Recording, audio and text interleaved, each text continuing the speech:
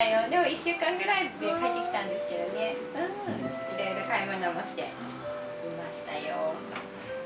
今結構便利なんですよ。YouTube にこのまま載っけられるんですよ。あそうなんですうね、ん、だからお店ほら写真だとわからないけどはい。あの会話したりするとその店主の方の人柄とかが全部ほらあのブログから見れるんで、うん、最近あげたのをですねあのはい。名古屋であってお祭りの時のやつあげたらくまモンがですねものすごいアクセス数で 3日ぐらいで100越しちゃってですね YouTube の方が。えうー、ん。すごいですね。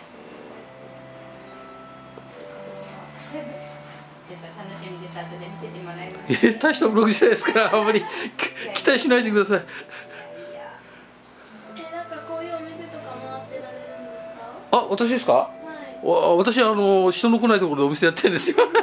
ちょっと変わり者なんですけどねイホミカ村って知ってますか知らないですよね。地元の方も知らない菊水インターの近くなかなか私遠出しないそれがうちの店のチラシと伝統工芸館で展示がこ今月末に FM 熊本であの扱ってもらってあちょっとスタジオで来いって言うんで宣伝していくんですよ。そうなんです。ね、ええ。あらじゃあ楽しみですね。そうでもしないとあそこ誰も来ないもんですから 誰か一人関わってそうやってメディアになんかこうお願いしてこないとですね。